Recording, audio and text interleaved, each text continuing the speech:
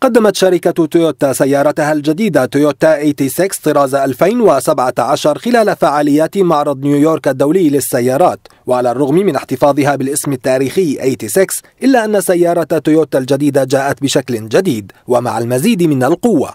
فقد زودت تويوتا 86 2017 بمحرك رباعي الاسطوانات سعة لترين يولد قوة 205 أحصنة و211 نيوتن متر من عزم الدوران. وعلى الرغم من أن هذه القوة قد لا تبدو كبيرة بمقاييس اليوم إلا أن معدل 100 حصان لكل لتر في محرك تلقائي تزود بالهواء يعد أمرا مميزا وخاصة مع سعر السيارة الرخيص نسبيا.